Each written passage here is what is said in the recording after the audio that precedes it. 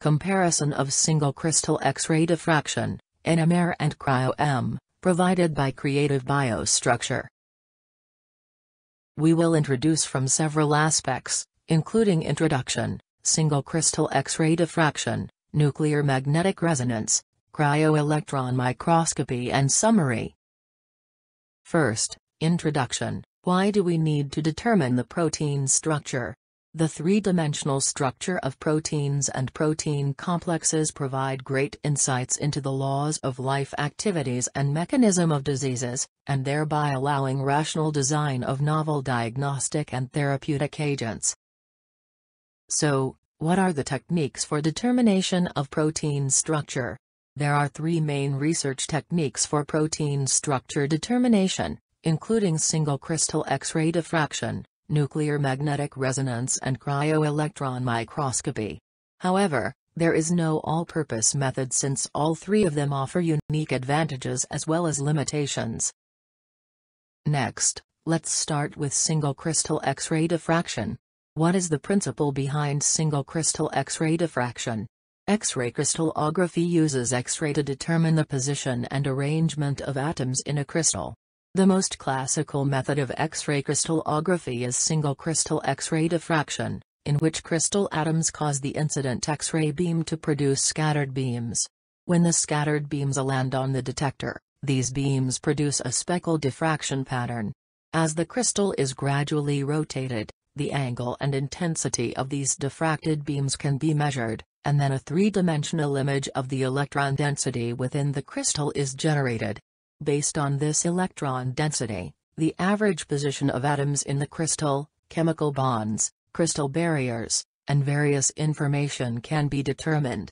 For a single crystal with sufficient purity, homogeneity and regularity, the X-ray diffraction data can determine the average chemical bond angle and length to within a few tenths of a degree and to within a few thousandths of an angstrom, respectively. What is the development of single crystal X-ray diffraction? The single crystal X-ray diffraction technique was proposed and developed in 1912, and it has become the most important and useful tool for determining protein structure, since the protein structure of myoglobin was first determined in 1958. Nowadays, more than 120,000 protein structures resolved by single crystal X-ray diffraction have been deposited in Protein Databank, accounting for nearly 90% of the total, suggesting its advantages in studying the structure of biological macromolecule crystals. What is the procedures of single crystal X-ray diffraction? The process of single crystal X-ray diffraction technique can be roughly divided into four steps. The first step is to obtain high-quality single crystals of the target protein, which is called protein crystallization. When the solution of the solubilized protein reaches supersaturation, it promotes protein aggregation and nucleation. Ultimately, individual protein molecules arrange themselves in a repeating series of unit cells by adopting a uniform orientation. Qualified crystals need to be of sufficient size, normally larger 50 micrometers in all dimension and high quality, such as regular structure, no cracks or twins. Obtaining single crystals of high quality is the limiting step to solve a structure with this method. After obtaining a single crystal, a diffraction experiment is required. The crystal is immobilized in an intense X-ray beam, producing a diffraction pattern, which is recorded as the diffraction data, including angle and intensity of the diffracted X-rays. As the crystal is gradually rotated, the previous reflections disappear and new reflections emerge. The diffraction intensity at each spot is recorded from each direction of the crystal. Subsequently, the diffraction data obtained from the diffraction pattern are combined with various methods of structural analysis and data fitting to analyze the electron density distribution in the three-dimensional space within the unit cell. In the last step, based on the electron density map, a model of atomic arrangement in the crystal can be produced and refined. What is the pros and cons of single crystal X-ray diffraction? This technology has been developing for a long time, may yield high atomic resolution and is not limited by the molecular weight of the sample. It is suitable for water-soluble proteins, membrane proteins as well as macromolecular complexes. When manipulated properly, it becomes a powerful tool to deliver reliable structural data of biological macromolecules and determine the position and structure of the active center, and helps understand how the protein recognizes and binds ligand molecules at the atomic level. However, the single crystal X-ray diffraction method also has several disadvantages. First, the sample must be crystallizable, but crystallization of biological macromolecules with large molecular weight can be difficult, particularly, membrane proteins are more challenging to crystallize because of its large size and poor solubilization. Second, an organized single crystal must be obtained to allow appropriate diffraction. Finally, the obtained three-dimensional structure of biological sample only represents a static form of the tested molecule, one of many possibilities, rather than a dynamic one. Then we will talk about the nuclear magnetic resonance. What is the principle behind nuclear magnetic resonance? Nuclei are charged, fast-spinning particles, which are similar to outer electrons. The gyromagnetic ratios of different atomic nuclei are different and therefore have different resonance frequencies. The movement of the nucleus is not isolated it interacts with the surrounding atoms both intra and intermolecularly. Therefore, through nuclear magnetic resonance spectroscopy, structural information of a given molecule can be obtained. Taking protein as an example, its secondary structure, such as alpha helix, beta sheet, turn, circular, and curl, reflect the different arrangement of the main chain atoms of protein molecules three-dimensionally. The spacing of the atomic nuclei in different secondary domains, the interaction between nuclei, and the dynamic characteristics of polypeptide segments all directly reflect the three-dimensional structure of proteins. These nuclear features all contribute to spectroscopic behaviors of the analyzed sample, thus providing characteristic NMR signals. Interpretation of these signals by computer-aided methods leads to deciphering of the three-dimensional structure. What is the development of nuclear magnetic resonance?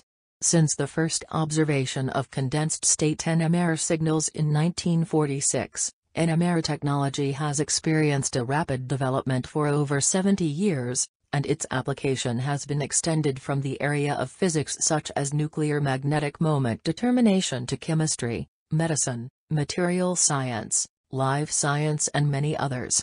Notably, in the 1980s, NMR technology was applied in the structural analysis of protein creatively, thus promoting the application of NMR in biological field. Although the amount of three-dimensional structure data of proteins obtained by NMR technology is not comparable to that of single crystal X-ray diffraction, the unique advantages of NMR technology have been widely noticed. NMR is able to provide information on a kinetic basis, such that the internal movement of proteins over multiple time scales and their binding mechanism to ligands can therefore be solved. What is the procedures of nuclear magnetic resonance? There are four main steps in an NMR experiment, sample preparation, data acquisition, spectral processing, and structural analysis, respectively. In the first step, NMR analysis is performed on aqueous samples of protein with high purity, high stability, and high concentration.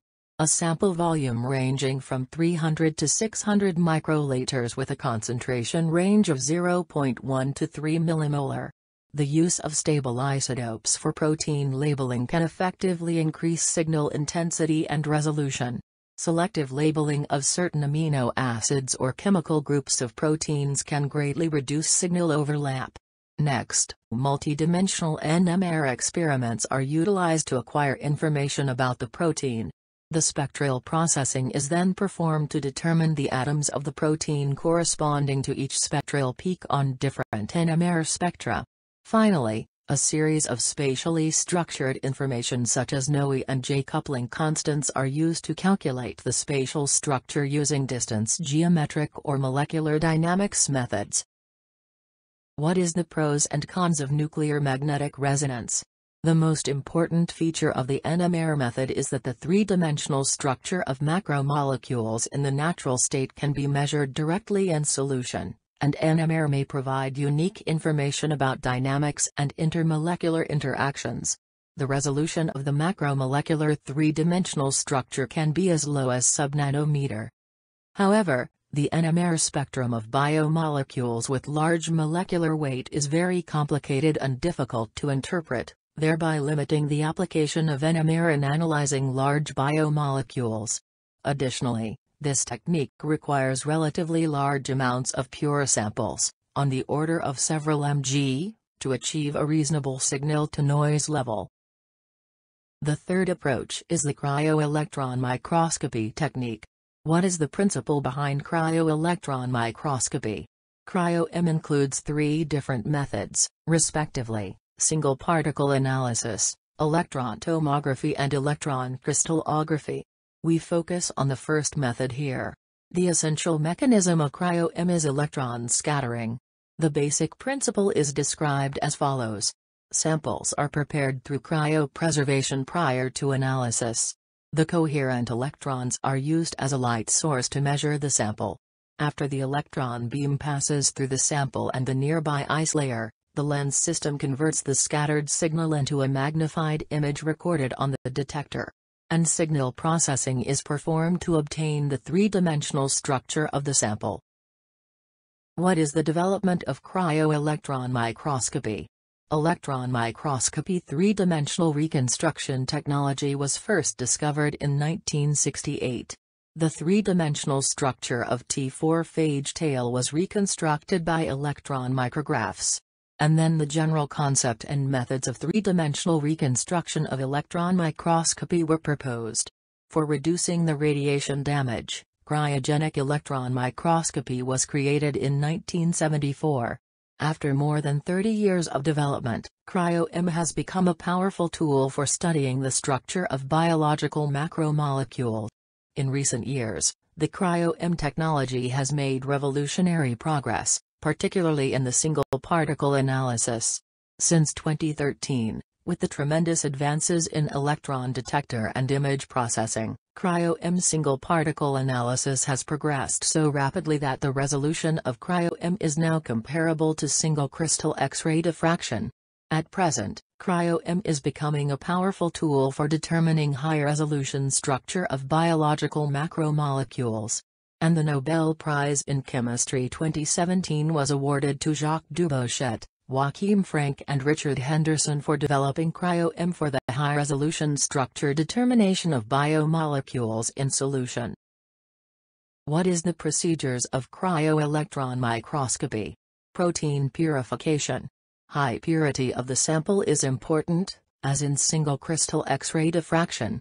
Negative stain is useful to clearly visualize the sample and check its homogeneity, especially for small particles. Particles are boxed from the micrographs, centered and aligned.